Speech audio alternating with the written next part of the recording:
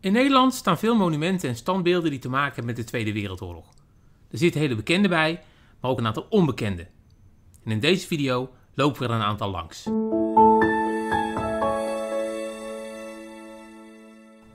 Een heel bekend standbeeld is dat van de dokwerker op het Jonas Daniel Meijerplein in Amsterdam. Dit monument is neergezet ter nagedachtenis aan de februari-staking van 1941. Een ander, minder bekend gedenkteken is het monument bij het Spoorwegmuseum in Utrecht.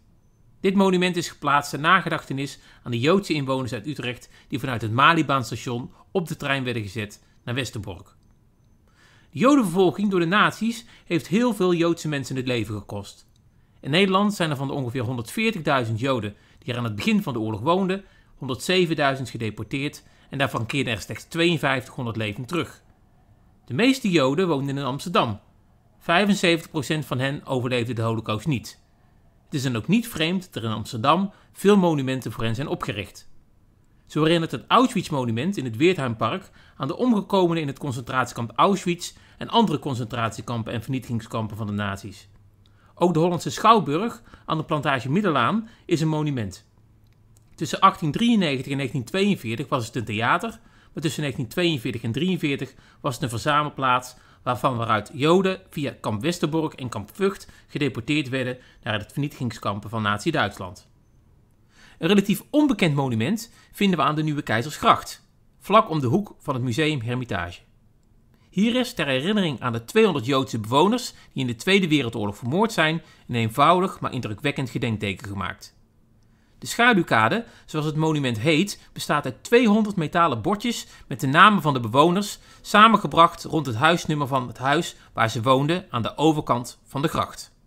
Op elk naambordje staat de naam van het herdachte slachtoffer en zijn of haar leeftijd, datum en plek van sterven.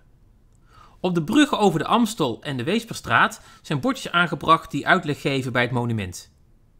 In de straat staat ook een huis dat een bijzondere rol speelde bij de Jodenvervolging in Nederland en Amsterdam in niet bijzonder. Op nummer 58 was namelijk sinds 25 oktober 1941 het hoofdkantoor van de Joodse Raad gevestigd. De Joodse Raad was in februari 1941 opgericht en vertegenwoordigde de Joodse gemeenschap bij de Duitse en Nederlandse overheid. Deze organisatie moest de Duitse maatregelen ten aanzien van de Joden uitvoeren. Joodse Raad was in feite een doorgeefluik van de anti-Joodse maatregelen van de nazi's.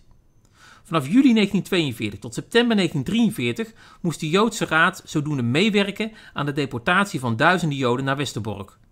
En toen in september 1943 ook de leiding van de Joodse Raad naar Westerbork werd afgevoerd, hield de Raad in de praktijk op te bestaan.